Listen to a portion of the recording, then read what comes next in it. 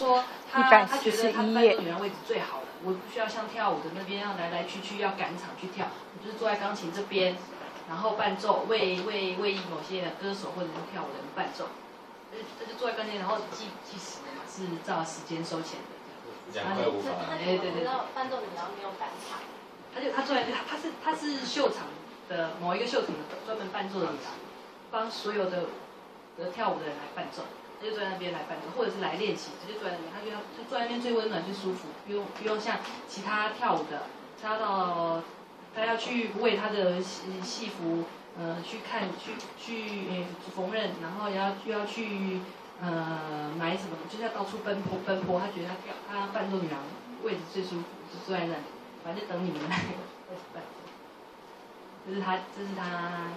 其其中一一个一个一个角色，他讲的。然后他带着他的儿子，那个一个一个，他应该也是单亲妈妈，带在旁边。那我一定要我要要申辩一下，因为我，以前在。我以前在德国很久，然后你以前在德国哪里念书我？在柏林，在柏林。对那多久？有我在柏林十四年。十四年。那可是因为有时候冬天很冷，像我们就会去羡慕什么什么音什么音乐？我乐器的就是吹吹长笛跟弹大键琴。哦那就是因为天气很冷，有时候教堂有时候教堂很冷，所以我们反而会羡慕那一种动作很多的，因为 所以我在因为他们好温暖，可以一直保持动，然后我们就只能很优雅地坐在那里，然后觉得好冷好冷，然后等到要弹的时候，就会觉得可能要弹战音啊，然后冷到就是整只手在那里晃，然后自己就觉得很好笑，然后还要故作优雅做这样子。所以这这一段我一定要反驳一下，哦 而且因为其实像伴奏的人，他说他在室内啊，他室内他那还是一样很冷，还是一样。因为常常那个教堂的暖气是座椅暖气，所以台上最冷，真的，而且有时候窗子会透风。没有，有可能是屁股是热的，然后前面是冷的。所以我们知道，我们可以知道你去去的那个地方，其实跟里面的抱怨场地是一样的。哎，差应该还是差嗯不多，啦。对，差不多啊，应该差不多。里面还有一个有，我觉得谈到说，因为巡演涉及到移动，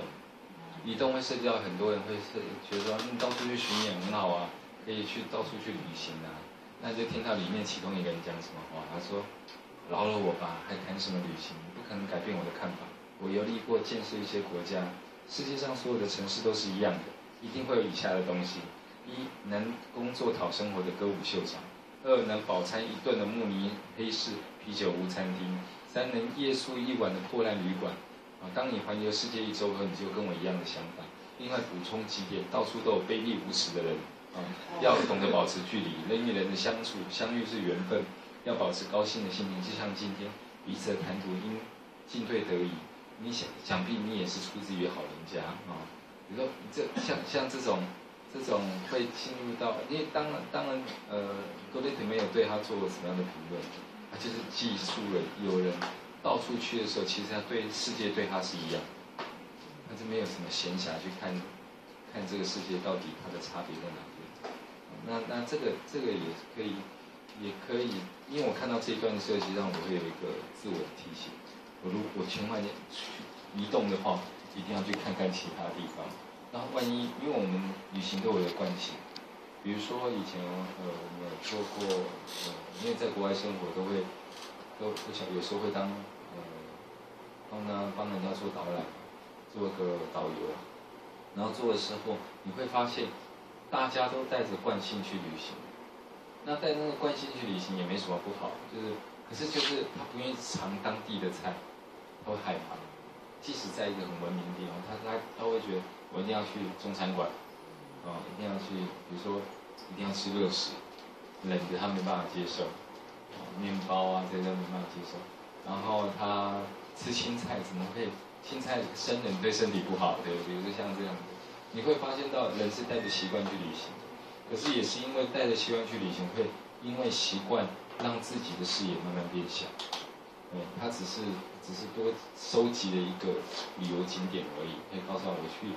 哪个地方哪个地方，然后可以跟别人谈同样的事情，那这同样的事情实际上是没有个人经验，这这是有趣的地方。那那因为在这里到结束之前要跟大家讲一下，说我们我们有专门请那个刘记啊，艺人出版社带了二十本书哦来给大家，然后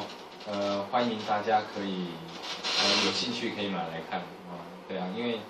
呃网上目前也不会没办法下载哦，然后是七九折是不是。你老板娘老板娘打几折？七九折七九折是跟那个那个成品一样啊。客人，老板娘说这样的，比顾客人。哦，好了，七九折了哈，那 我没办法再帮你们争取。客人要付运费。啊，对对对，好了，那就欢迎我们再热烈掌声，谢谢红军。好，